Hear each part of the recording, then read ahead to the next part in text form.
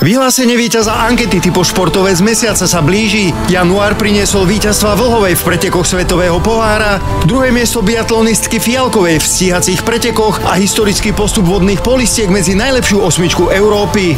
Typo športové z mesiaca január už v sobotu po 2020 na Jojke. Túto reláciu prináša Typos Národná lotériová spoločnosť.